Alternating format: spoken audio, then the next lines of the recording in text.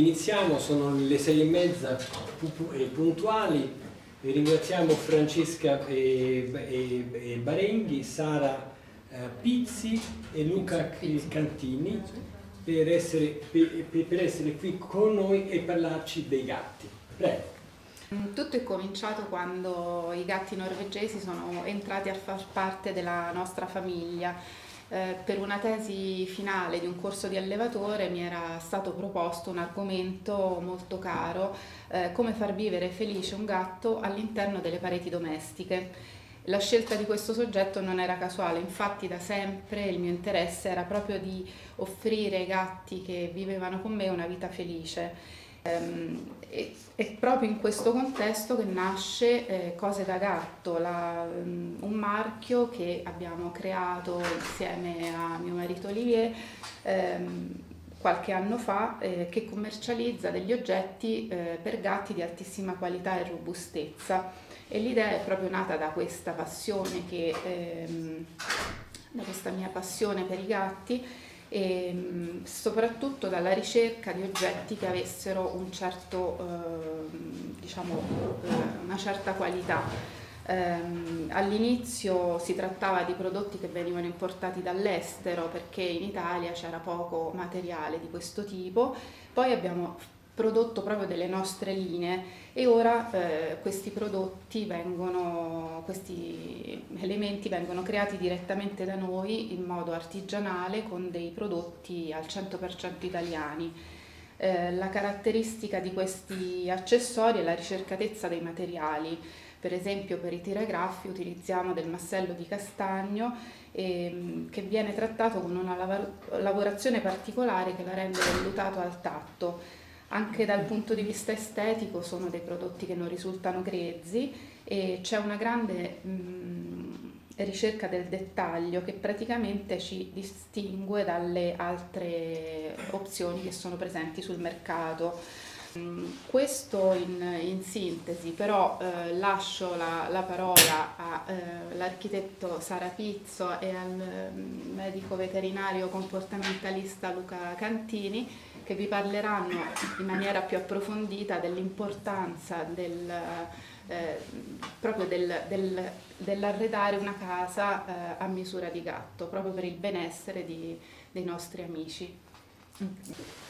Buonasera a tutti, eh, iniziamo subito su, diciamo, quando io inizio e, e, penso ad un progetto, a un nuovo progetto d'arredo per gli animali da, eh, per gli animali da compagnia, prendo in considerazione tre caratteristiche principali, cioè quelle che sono le caratteristiche etologiche, cioè quelle che sono le caratteristiche comportamentali eh, tipiche di quella specie, quelle che sono le caratteristiche individuali, perché ogni individuo è un gatto a sé stante, per cui eh, naturalmente avrà delle esigenze e un carattere e delle necessità diverse da eh, tutti gli altri, e eh, quelle che sono le caratteristiche della relazione che il gatto ha con le persone che stanno in casa, quindi con i proprietari e con gli altri animali.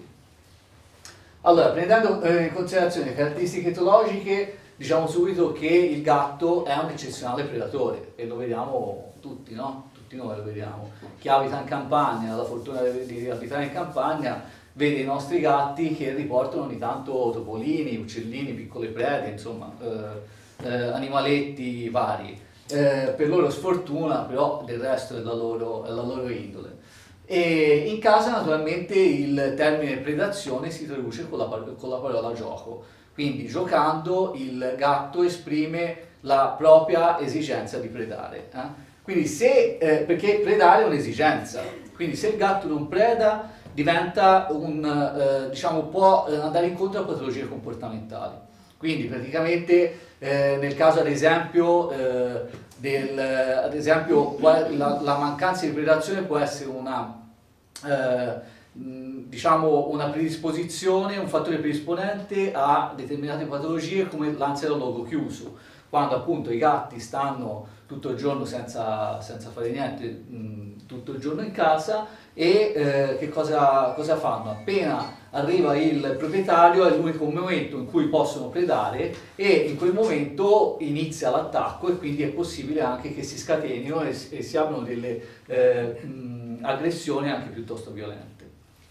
Eh, eh no, no, no, no, eh, quindi quando il, eh, il diciamo, ehm, nella predazione dobbiamo tenere presente eh, la, sequenza della, eh, la sequenza predatoria, perché eh, la sequenza predatoria si divide in tre fasi essenzialmente. La prima fase in cui eh, c'è ehm, una fase appetitiva, in cui praticamente il gatto punta la preda, una fase di eh, consumatoria in cui il gatto sfera l'attacco e una fase invece di eh, appagamento in cui il gatto eh, tiene tra le grinfie il, la propria preda. Okay? Quindi eh, se eh, non viene rispettata la sequenza predatoria, eh, diciamo che ehm, quindi quando noi proponiamo dei giochi al, al gatto, eh, naturalmente dobbiamo far sì che la sequenza predatoria sia rispettata.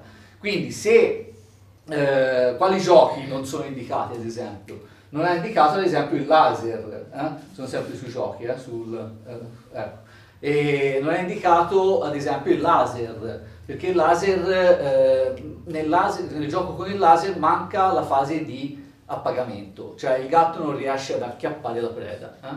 Quindi che cosa succede? Che c'è il rischio che la, l'eccitazione salga e ridiriga poi la sua aggressività nei confronti di chi gli sta accanto, quindi con un'aggressione ridiretta, quindi ridirige eh, ad esempio su un altro gatto che sta vicino a lui. E, oppure eh, invece anche per esempio i giochi che stanno appesi, sì, vanno bene ma fino a un certo punto, nel senso che comunque eh, il gatto si, si muove, eh, cioè la, la, preda si muove eh, un pochino per cui, e, e, rimane attaccata, per cui non è mai nelle, nelle zampe, tra le zampe del gatto. Quindi eh, che cosa possiamo proporre? Possiamo proporre ad esempio delle palline di pezza, eh, oppure dei pupazzetti di pezza, oppure quelli che, eh, torni un attimo indietro, ecco, questi qua che sono di mia creazione, si chiama Playful Crew, la, la, la la, linea dei giochi sono dei pupazzetti in cartone che hanno eh, la caratteristica eh, di staccarsi nel momento in cui sono appesi a un filo, poi vi dico anche che tipo di filo, e hanno la caratteristica di eh, staccarsi nel momento in cui il gatto sfera l'attacco, quindi la sequenza predatoria viene completata.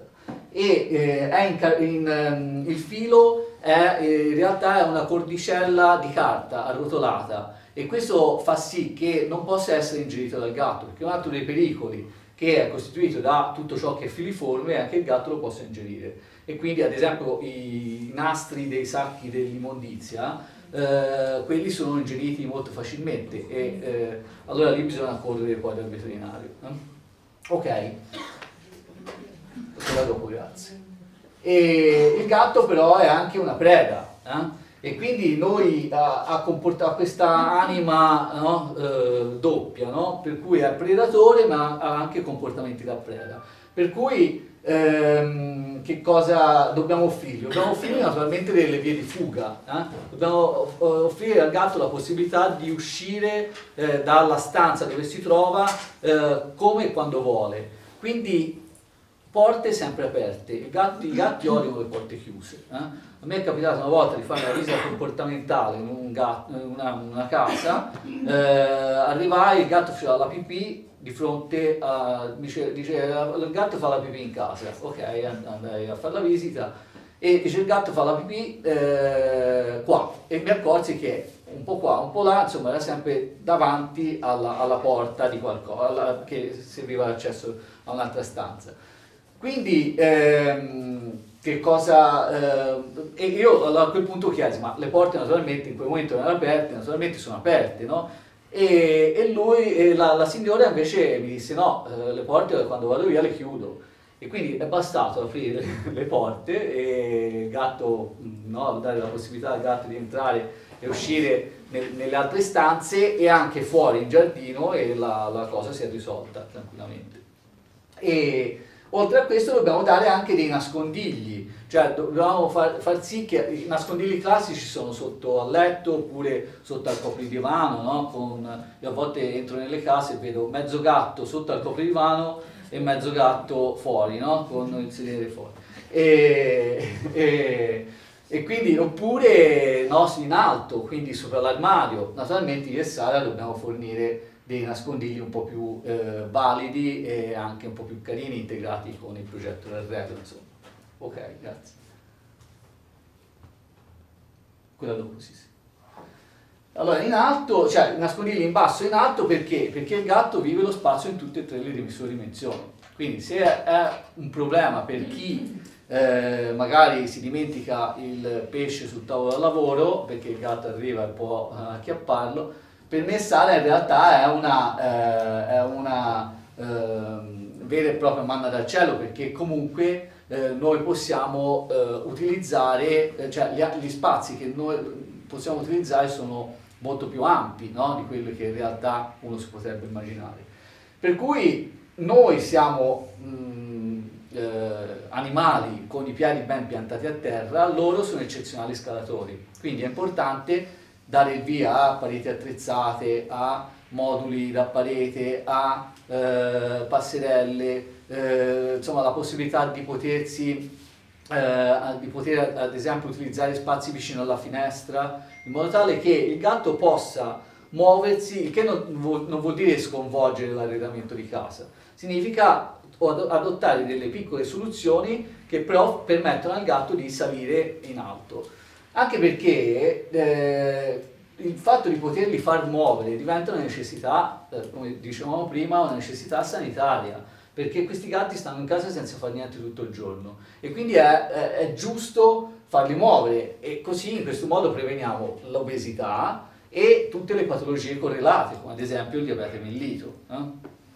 Ok? Allora, eh, ama il caldo, eh, naturalmente tutti noi amiamo il caldo, eh? però il gatto lo ama in modo particolare.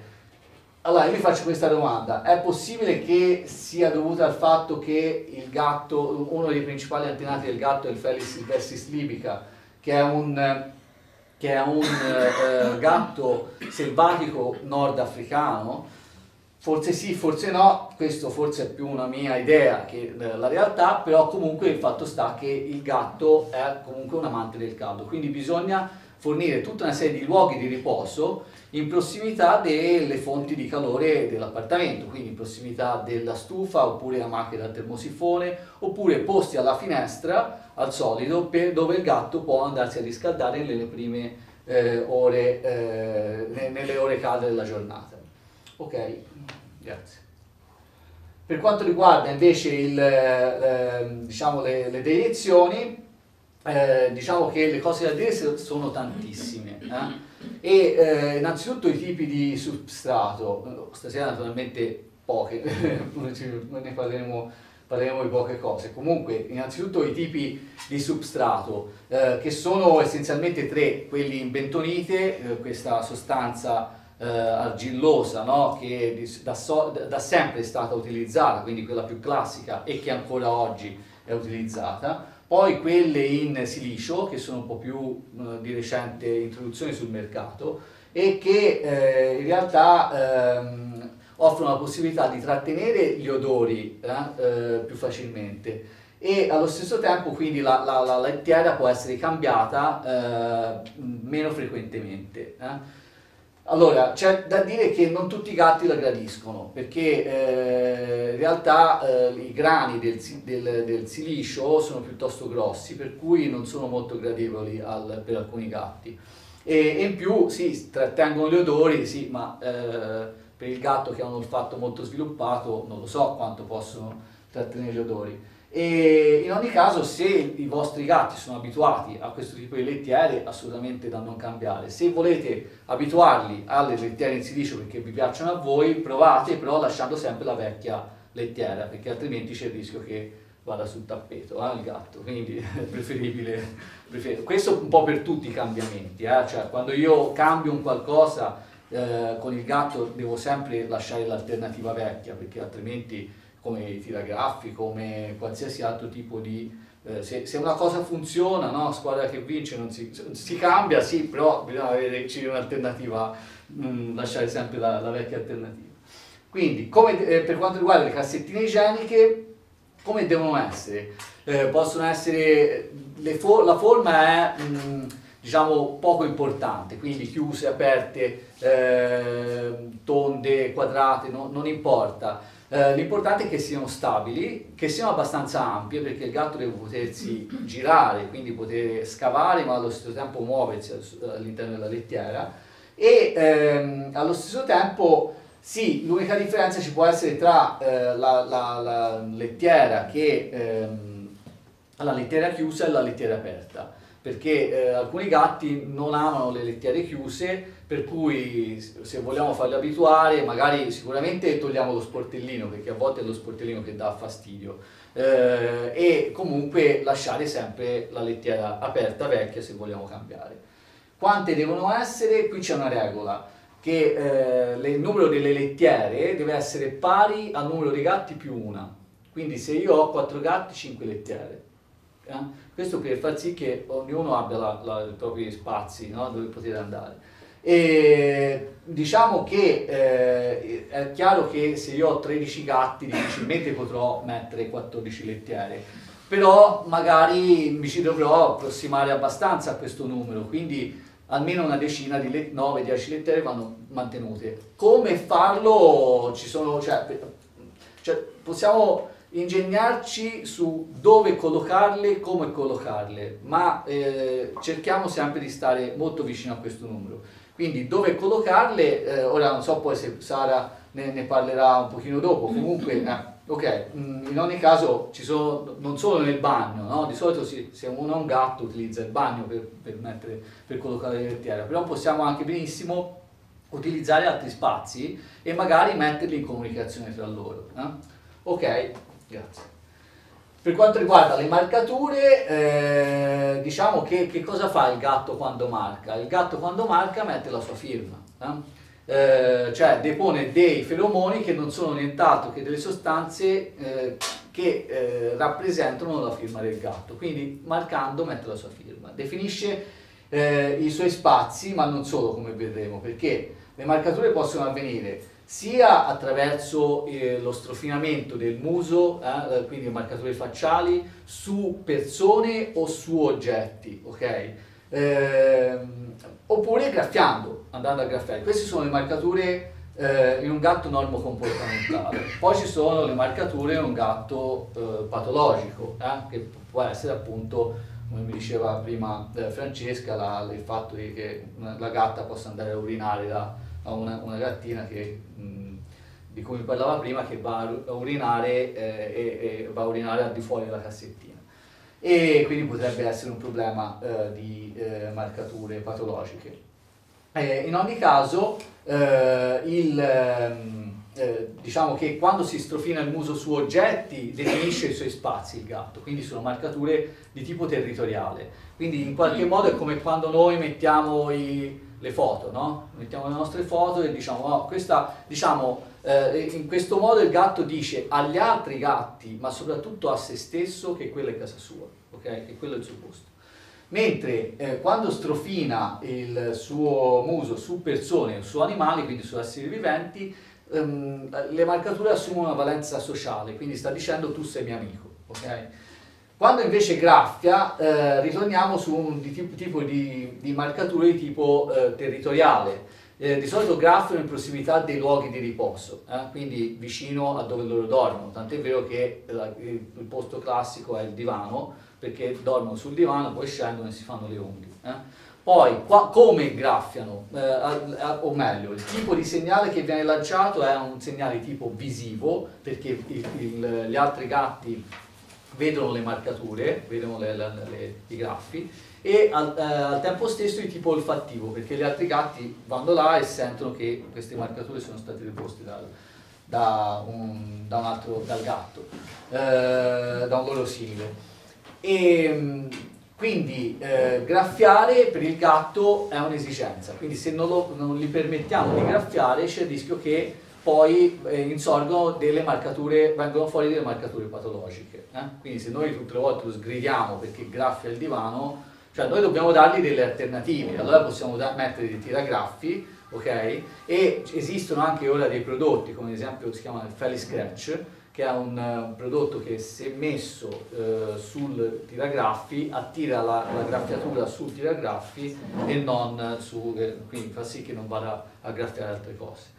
E, però diciamo che eh, non possiamo impedire al gatto di graffiare. Eh? Ok, qui con le marcature facciali.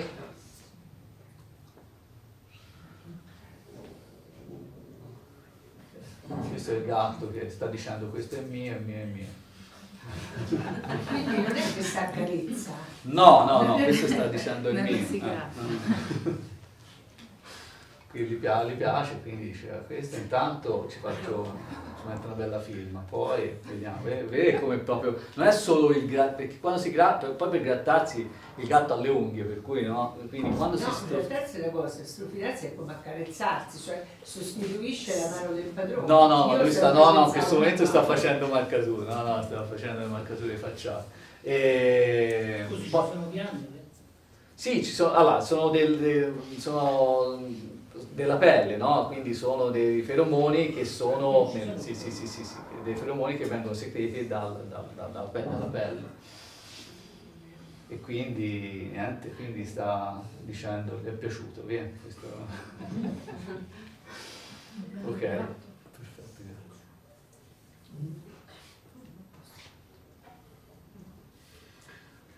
Ok, quindi eh, altra caratteristica, ci chiediamo, è un animale sociale il gatto, eh, quindi eh, lo stereotipo del gatto no, ce lo descrive come eh, un, eh, un- un animale schivo, no, che è molto, mh, che tende a, a stare per conto suo, che si lega all'ambiente e non alle persone. Poi è chiaro che ognuno ha il proprio carattere, eh, non è detto che eh, tutti siano eh, affettuosissimi o comunque che siano socievolissimi. Però in linea di massima, in linea di massima il- eh, i gatti riescono a vivere in colonie anche molto numerose, quando c'è abbondanza di risorse riescono a vivere in colonie numerose. Riescono a stringere animali soci- eh, legami sociali con altri animali, Conigli? con i conigli, ma non è detto che la relazione può essere, si può eh, cercare di, di- non è detto, eh, poi dipende da- anche da- dall'età in cui viene preso il gatto. 12 anni.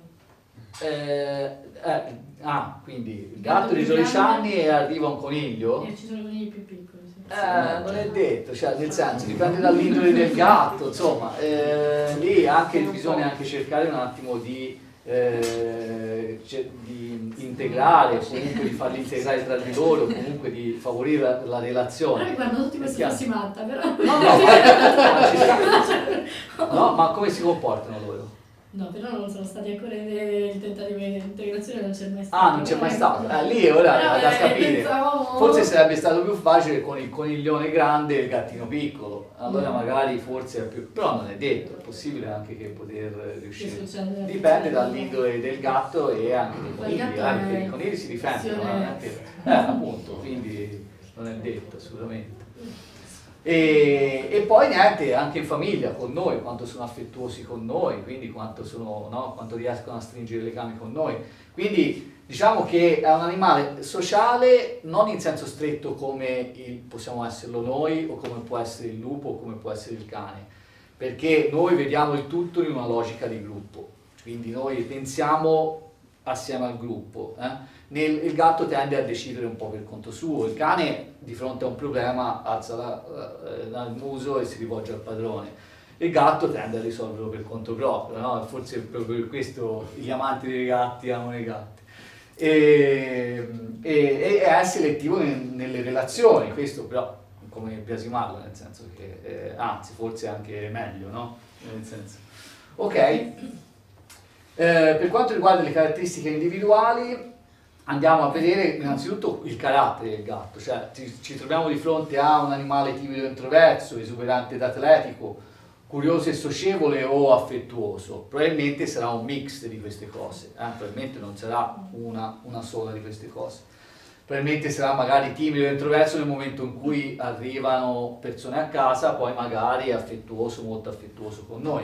E allora se è timido introverso, essenzialmente timido introverso, io farò, in modo che abbia più vie di fuga, più posti dove andarsi a nascondere, più posti dove andarsi ad isolare. Se invece è un animale molto esuberante ed atletico, abbiamo tutti i percorsi eh, possibili e immaginabili, se è curioso e socievole, eh, io far, farò in modo ad esempio che possa venirmi a salutare in, nel momento in cui arrivo a casa e con le borse della spesa e quindi possa subito, quindi non gli impedirò l'accesso all'ingresso di casa. Eh? Eh, e, e, allo stesso tempo magari farò in modo anche di allestire delle piccole aree verdi, delle piccole zone dove lui potrà andare a curiosare, dove potrà, soprattutto se, se le, le, vengono collocate sul terrazzo ad esempio, eh, lì ci vanno animaletti, insetti, il gatto può andare a curiosare tranquillamente. Se è affettuoso, naturalmente, e la relazione, tra, come vedremo dopo, tra proprietari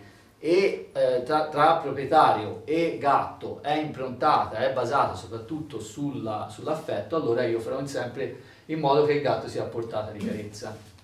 Okay.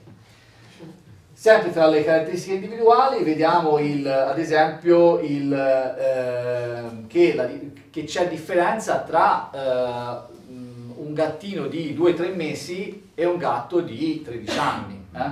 Un gattino di 2-3 mesi naturalmente avrà bisogno di un ambiente un po' più ovattato, un po' più a misura di gattino, quindi un po' più, no? quindi delle ciotole piccole e soprattutto una lettiera piccola, cioè una lettiera non piccola ma eh, con i bordi bassi, in modo tale che possa eh, salire agevolmente sulla lettiera.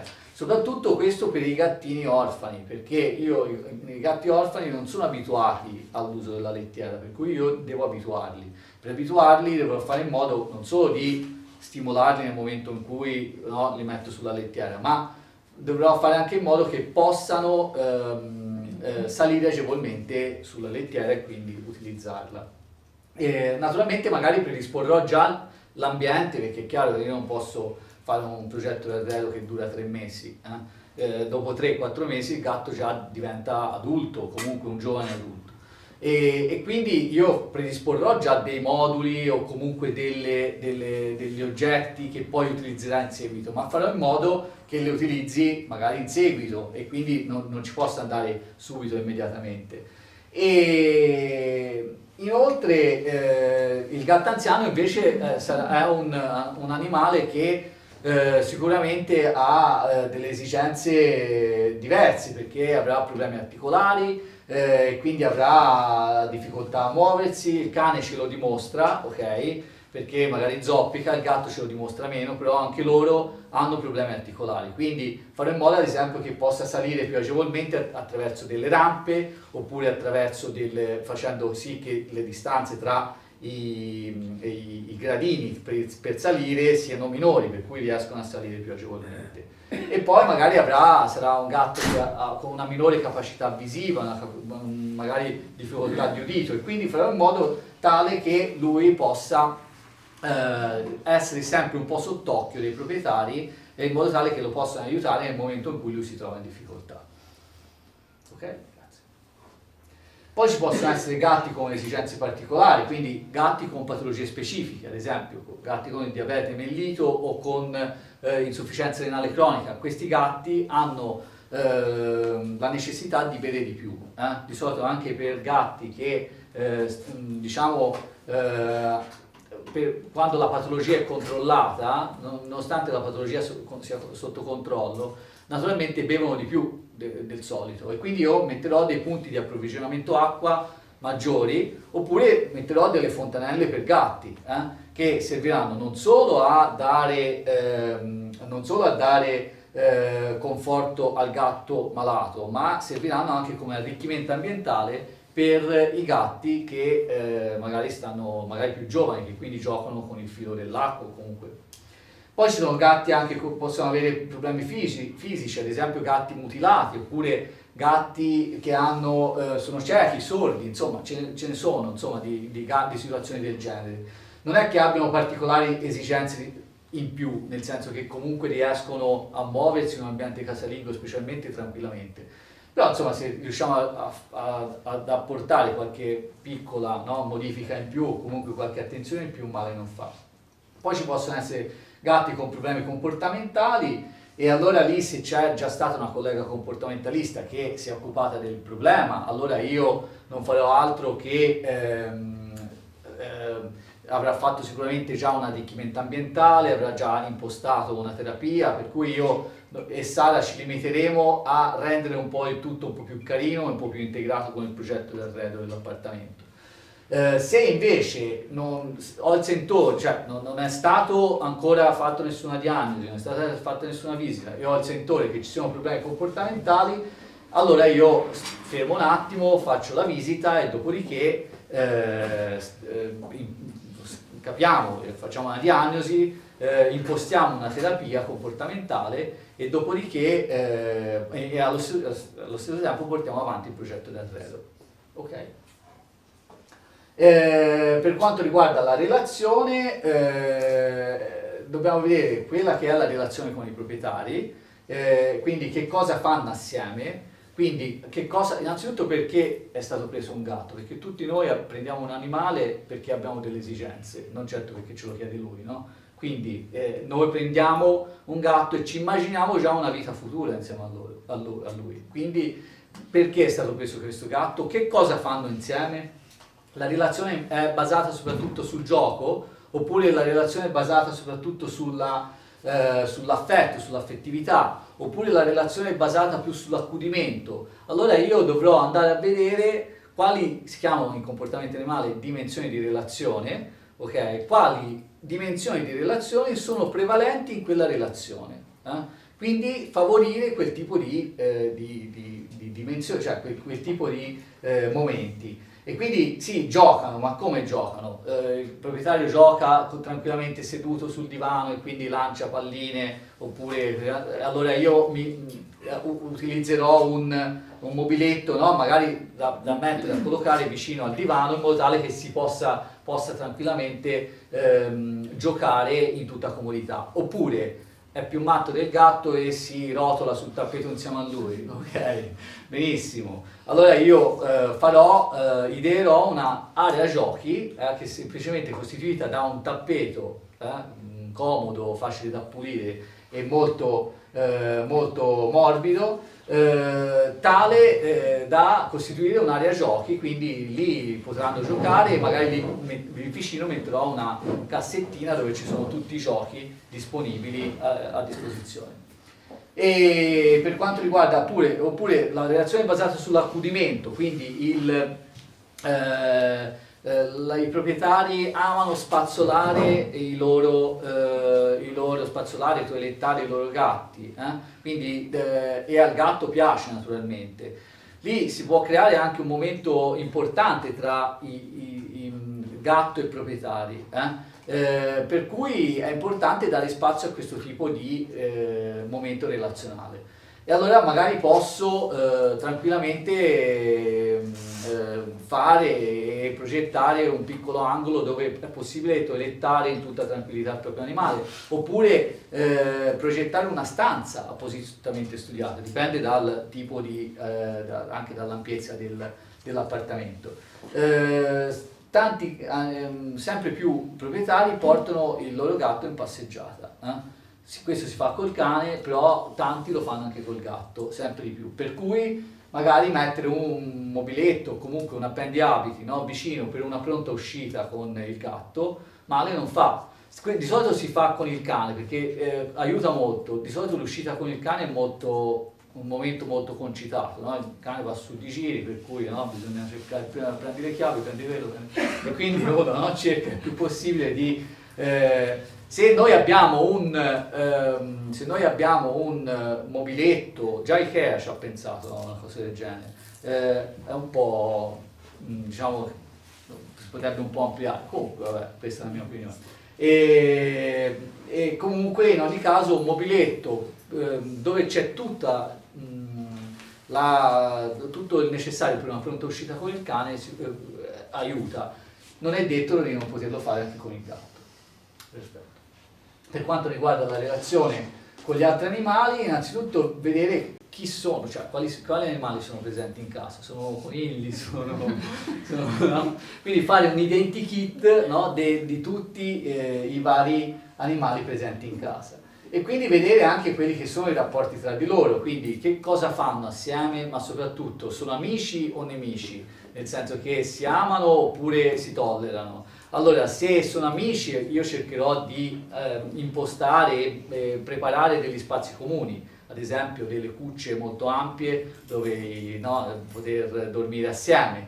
Ehm, oppure se sono invece nemici, come a volte può capitare tra gatti, nel senso che non, non, si amano troppo, allora a quel punto predisporrò degli spazi in modo tale che ognuno abbia la, la, il suo posto dove andarsi a isolare e soprattutto l'altro non possa andare a dare fastidio nel momento in cui l'altro si isola. Eh? E quindi se sono eh, cane e gatto invece, perché può capitare no? di trovarsi anche a strutturare un progetto d'arredo per cani e gatti, eh, se sono cane e gatto e sono cane e gatto nel vero senso della parola, allora farò in modo che il, cane viva lo spazio in basso e il gatto viva lo spazio in alto. Quindi separerò gli spazi, non separerò gli ambienti. Cioè non farò vivere il gatto in una stanza e, eh, oppure no, in metà casa e il, il cane in un'altra se sparerò gli spazi, farò in modo che il gatto viva soprattutto gli spazi in altezza, mentre il cane viva soprattutto, eh, anche perché di più non può fare.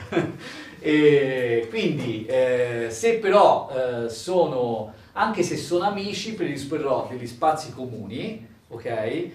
Però farò in modo che alcune cose siano separate, de, tipo le lettiere io farò in modo che non siano accessibili al cane, perché spesso il cane va a mangiare delle de, de, deiezioni del gatto oppure farò in modo che eh, il, il, cibo del, del, gatto non sia a disposizione del cane perché è chiaro che no, non fa bene e poi allo stesso tempo anche il gatto deve mangiare.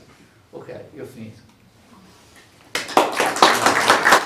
Proprio. Allora, come abbiamo visto, il veterinario comportamentalista individua tutte le esigenze del gatto, che non sono solo le esigenze della specie in sé, ma sono proprio individuali, cioè ogni gatto ha il suo carattere, chi ha eh, un animale in casa lo sa benissimo, non tutti i gatti sono uguali e neanche tutte le famiglie sono uguali. Vediamo lì nella foto per esempio che cane, questo cane e questo gatto eh, eh convivono tranquillamente, quindi è l'opposto dello eh, stereotipo del, del cane e del gatto eh, e quindi quando si va ad affrontare il progetto degli interni per, eh, pensato anche per l'animale di casa, che può essere un gatto ma può essere anche cane e gatto appunto, eh, bisogna eh, cucire tutto su misura, quindi per la famiglia e per gli animali.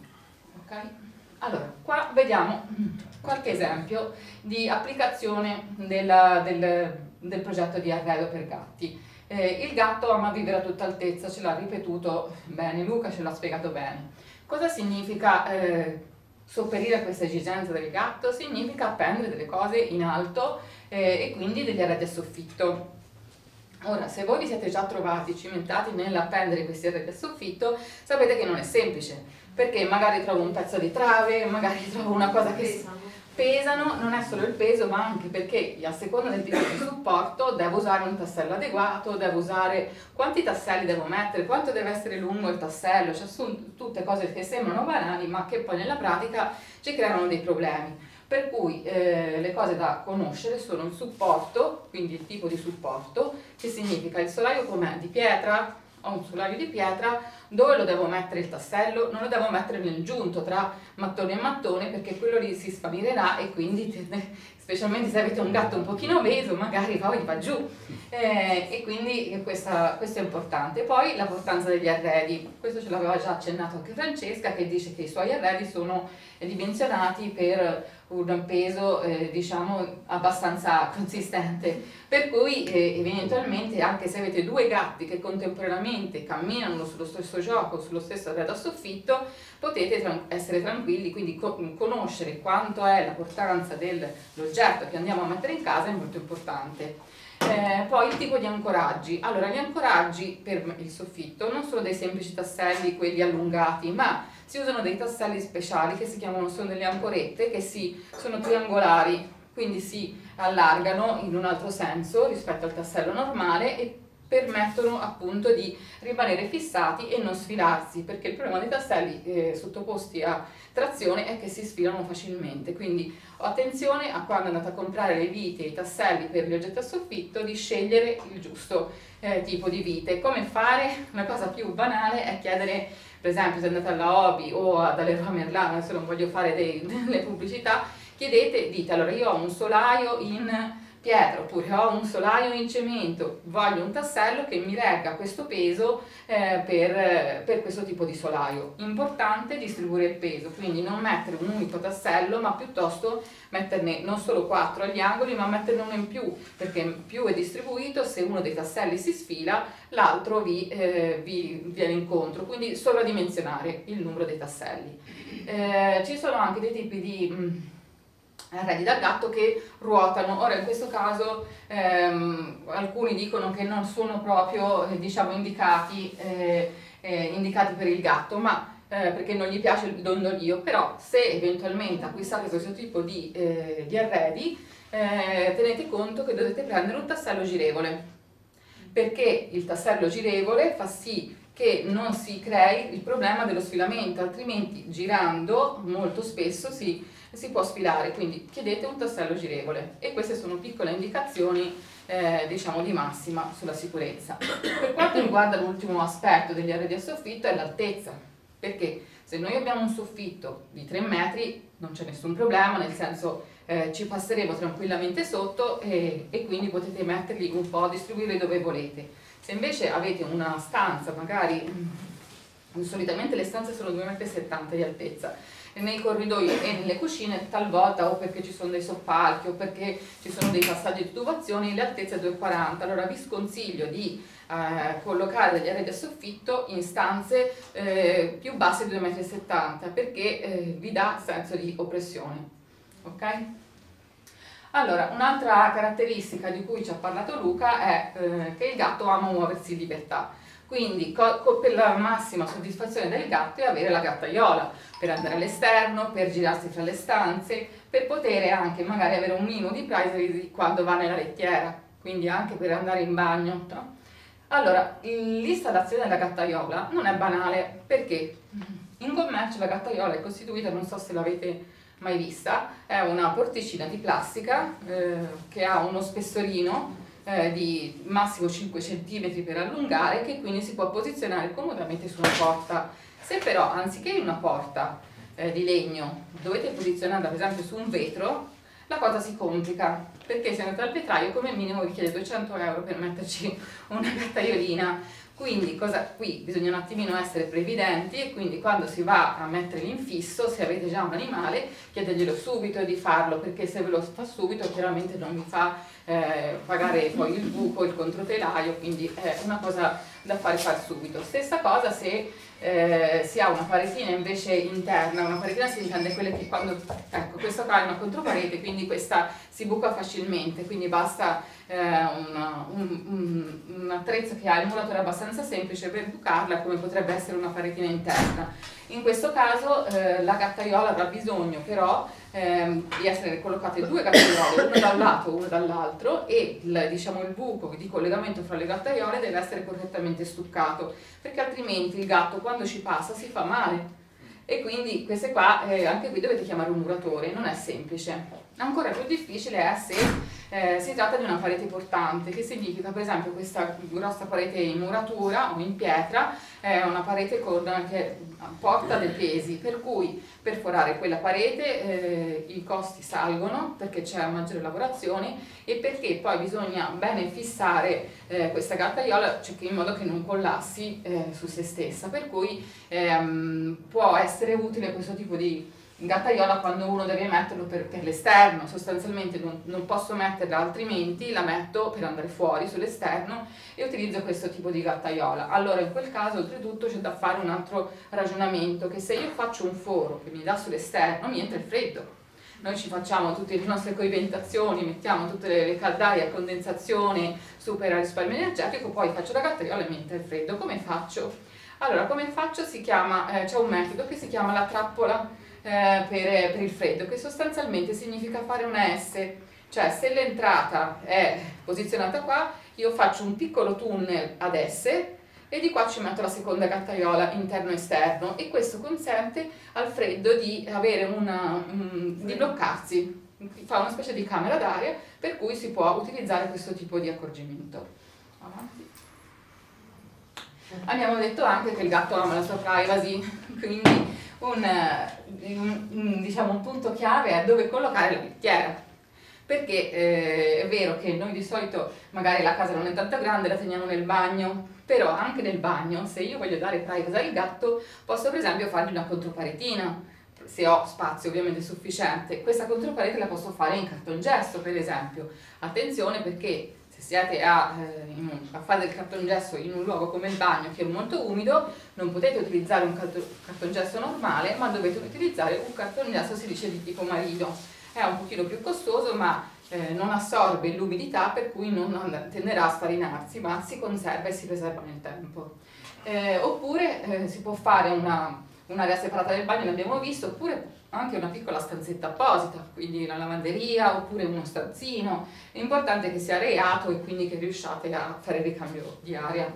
Eh, oppure questa soluzione che vedete nel, eh, nella foto è un mobile lettiera non so se li avete mai visti, praticamente c'è un piccolo buco dove il gatto va dentro, c'è uno sportellino che ci permette di aprire e pulire la lettiera e alcuni gatti lo trovano divertente, cioè ci si nascondono, altri invece non, non lo usano perché hanno paura proprio a entrarci.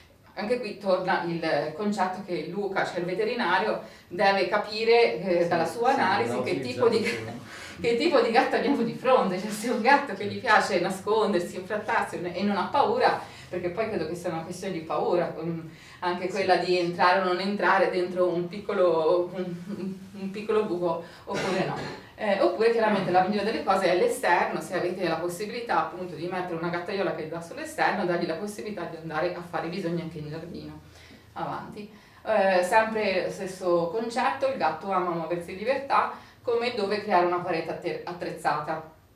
Allora, nel caso della parete attrezzata, chiaramente il, il fissaggio avviene eh, eh, sulla parete verticale, eh, quindi anche qui tutto il discorso della scelta degli ancoraggi a seconda del tipo di muratura che abbiamo di fronte è importante. Non, non fora, cercate di non forare le, mura, le pilastri di cemento armato perché si può fare magari uno o due tasselli se proprio vi capitano per questioni di posizionamento lo potete anche forare, scegliete il tassello adatto, che non è quello lungo ma è quello corto, anche lì fatevi consigliare eh, quale tipo di tassello è migliore per il supporto.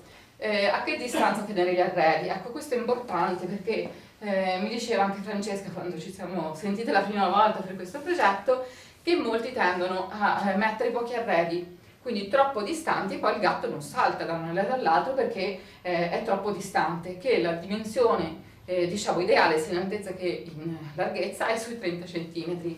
Poi chiaramente a seconda del tipo di gatto, se è un gatto più anziano va un pochino ridotta, se invece il gatto è più agile, più coraggioso, si può anche tenerlo qualcosina in più.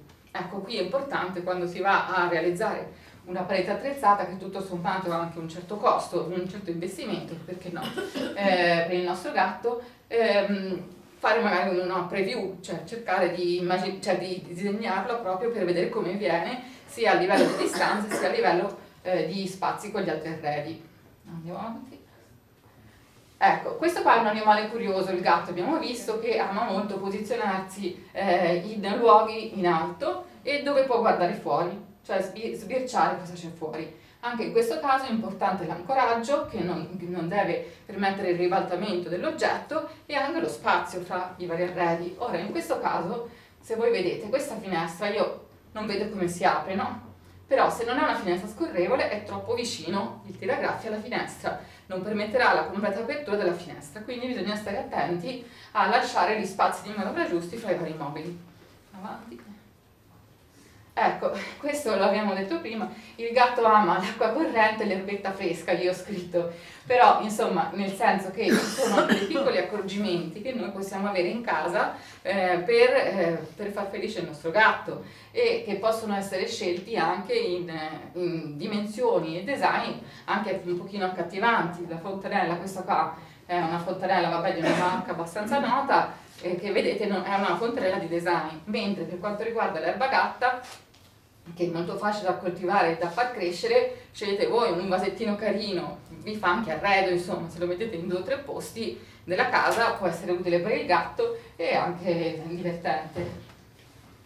Quindi, eh, ricapitolando, gli aspetti tecnici da tenere in considerazione quando si parla di fare arredo gatto. La distanza tra gli elementi sospesi, gli spazi di manovra tra gli arredi, i supporti di ancoraggio e poi la scelta dei tasselli, dei viti e dei chiodi. Un altro aspetto fondamentale è il passaggio delle tubazioni. Quando voi andate a forare una parete, sul soffitto è più raro perché al massimo ci può essere un centrale, quindi un passaggio di un corrugato centrale è difficile trovarlo, deve essere proprio un po' sfortuna.